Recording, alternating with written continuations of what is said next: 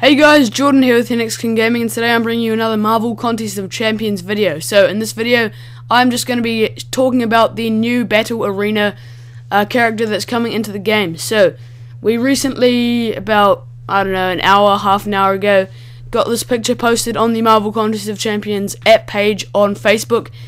And it is pretty much showing you who the new Battle Arena is going to be and it is Captain Marvel.